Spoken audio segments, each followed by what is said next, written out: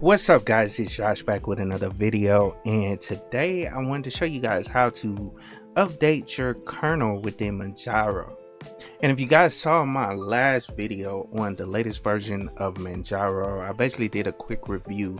Well, this is one of the things I actually talked about in the video and I forgot to explain. Uh, and I noticed it while I was editing the video, as well as my man Dark Dweeb said in the comment section. Uh, he was like, Oh, you forgot. And I was like, Man, I should have. I totally saw that once I started editing the video that I had forgot to show people how to change the kernel um, that's being used by the operating system. And it's basically two ways to actually show you. So let's hop over to the virtual machine so I can walk you guys through how to actually do it. Also, before we move forward, I wanted to give a quick shout out to CIQ as the official supporter of Rocky Linux, which I think is one of the best replacements for your CentOS server. If you haven't been paying attention, Red Hat announced in 2021 it will be going away with CentOS as the downstream clone for Red Hat and Rocky Linux is here to pick up the pieces. So check out Rocky Linux at ciq.co. All right, cool. So this is Manjaro 21.3. Uh, like I did in the review, it's that same system that I had installed. I'm glad I actually kept it, kept it on my uh, uh, virtual machine. You know what I'm saying? I kept the actual operating system. I didn't have to reinstall it. But first thing I want to do is show you guys how to change it from the command line. This is probably a little bit more difficult for people that is not inter that are not familiar with working with the command line so much. So let's go in and and let's uh, zoom in a little bit. So basically, we can just hit the enlarge font. That'll be the easiest way to actually do it which i could have did it you know using my shortcuts.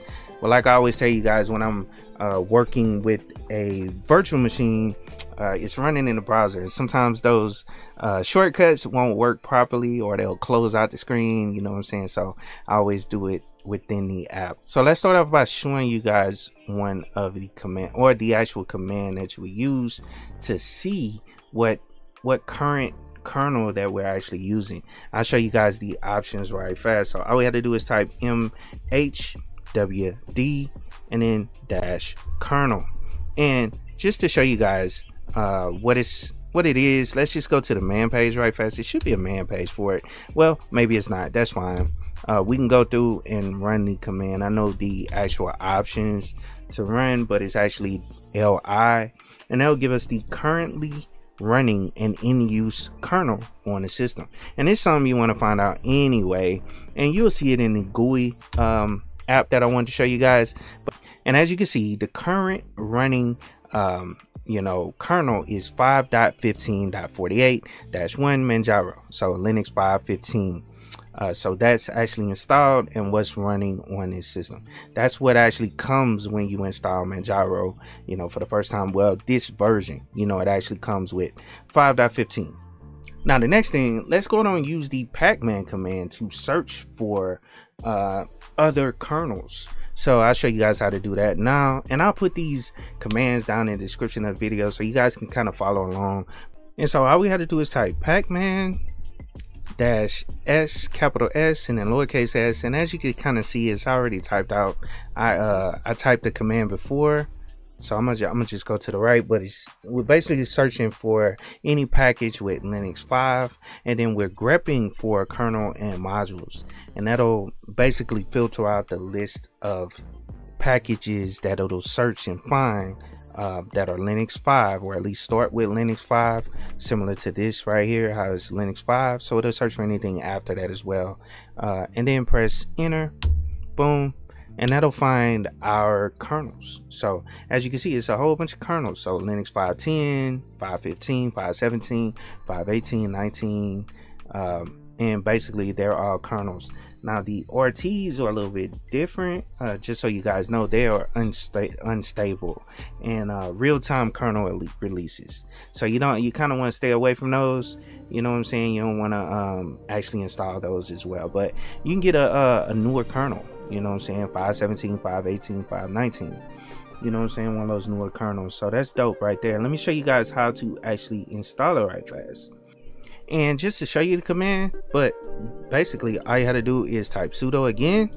Pacman once you find out which one you want to actually install dash s. And then all we had to do is install that kernel. All we had to do is type linux. And let's say we want to put the 517 kernel on there. So let's just type 517 and press enter. Type in our uh, password press enter. It'll go through and install that that new kernel. Now all this is doing is really installing it uh, with the modules but you actually have to activate it. And I'll show you guys how to actually activate that kernel once we get it installed once this install is done. Now that we got the uh, new kernel install and just so you guys remember it's 5.17 in order for it to take effect we have to run one more command and it's uh, basically using that mhwd command again. Uh, so mhwd dash kernel boom and then dash i for install. And then we want to specify that kernel which uh, was 517 so 517 and there is another option uh, you can run behind this but it's rmc and this will remove the old or the existing kernel you know at the installation of this new kernel. Uh, it'll remove it all together but majority of the time uh, when you're installing let's say a bleeding edge kernel you kind of want to keep that that other kernel you know around for a while in case you know you run into any issues with the operating system you know booting up you can always revert it back to the old one because it's there it's still there. You could fall back to 5.15 so let's go on and uh actually i'm not gonna run rmc but i'm gonna just run it and get it to uh, update to the latest version or the latest kernel right fast. And let's press enter. It'll go through and actually I hit enter but I meant to uh, type Y in it. It's basically asking you if you want to continue. And this is basically going to change over your kernel uh, to that version. So uh, let's just wait for this to finish again. But uh, when it comes up you have to type yes or Y because uh, it's basically asking are you sure? So let's press enter. Boom press enter. And I'll upgrade the system you know what I'm saying? It, it normally doesn't take too long. Uh, and they also have like uh, snapshots that are being done, you know, all kind of stuff that's being done when you run this command. Uh, it shouldn't take too long, but I'll be back when it actually finishes. All right, cool. So we are done. All we had to do is reboot the system at this point, and we should have that current um, or that new kernel installed and running on the system. So let's run a sudo uh, reboot. Now I just type now but it'll reboot, come back up. I'll be back when it actually comes up. All right, cool. So it's back up. Let's go down and log in so I can make the screen big for you guys again, and we can run the original command. So we can check the current version or the current kernel that's actually installed and being used. So let's uh, open up the terminal again. Uh, let's zoom in the front so you guys can kind of see a little better again. And let's type the mh uh, wd dash kernel and li and as you can see we are running kernel 517 but as you can see that's why i left off that other option so i can keep that old kernel on there. So we're good to go. We have the current version or not the current version but the kernel that we wanted to use that we wanted to change it to you know installed and is actually running on the system. Now let's go down and close this and show you guys the GUI way of actually doing it. And basically if you hit the start menu go under it's either settings? Yeah settings. And then what we're looking for is the manjaro settings manager. So we click on that. And as you can see we have an option there for kernel. So we can modify the kernel you know right here using uh, this little GUI tool. So let's double click on it open it up uh, now as you can see it kind of shows those changes that we made already. Uh, we're running and I was trying to hold on let's try I'm trying to make it big so you guys can see it. But as you can see we're running uh, Linux 5.16 I mean 17 and before we were running 15 which is the LTS recommended version.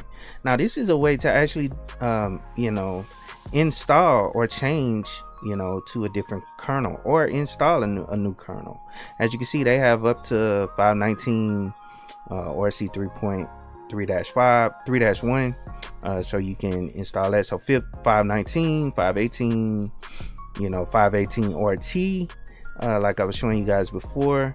Uh, it's a real time, uh, but they always recommend you use a stable kernel. You know what I'm saying? Um, but you can make those changes here. So let's say you wanted to go back to 515, you can actually just hit remove, uh, and as you can see, it'll remove that that kernel for us and then it'll go on and, and move and revert back to 515 for us uh, once we reboot uh, so you can run that and that'll go through like i said it'll remove that that kernel you know what i'm saying? And this is the kernel that will actually be running once we reboot the system. Uh, and actually let's reboot it now so you guys can see. But we basically did the exact same thing. Uh, we removed that kernel um, and let's restart. And we should be reverted back to 515 all right and let's log back in to the system right fast and hurry up and get over here so I can show you guys that it should be running back on 5.15 which is the LTS recommended. Let's hit the start menu go to settings and then Manjaro settings manager uh, and open up the kernel again. And we should be back on 515 so that's an easy way of actually you know changing it. And as you can see it's running back on there. Uh, you never want to not have a kernel on here installed. Uh, otherwise your system won't boot up. But um, if it's not installed you know then it's you know it's not gonna if you remove that then your system's not gonna work obviously. So you want to make sure you install whatever kernel you want to run and then when you reinstall i mean when you reboot it will take over as the current um, kernel. And just show you guys we can install that one back on there now let's hit yes boom type in our password our sudo password so we can run it get 517 back installed it's going to update the modules and dependencies just like what we did in the terminal. You'll see it you know pop up and go through that same process we did within the terminal uh, in order to get that new kernel installed. And then we can set it as the running kernel uh, just by simply rebooting at the time now i hope you guys enjoyed the video that's a very simple process i showed you guys the command way or the way to do it in the command line interface as well as within the gui tool that's built into manjaro to allow you to modify your current kernel uh, just change it install new kernels and all that good stuff so I hope you guys enjoyed the video. Please like, share, and subscribe to the channel. If you have any questions, leave comments down below. And of course, keep it techie.